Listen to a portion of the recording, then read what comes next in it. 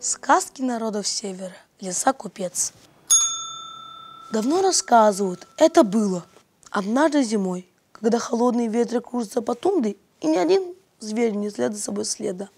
Голодная лиса сказала своей сестре, мы умрем с голоду со своими детьми, если ничего не придумаем. И придумали.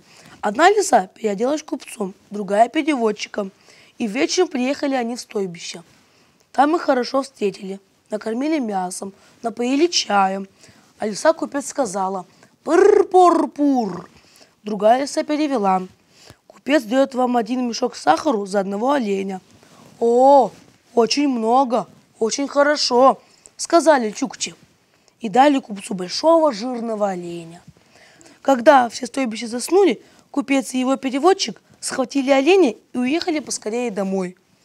Утром хозяева хватились гостей, и их след простыл. А когда развязали мешок, то вместо сахара нашли в мешке снег.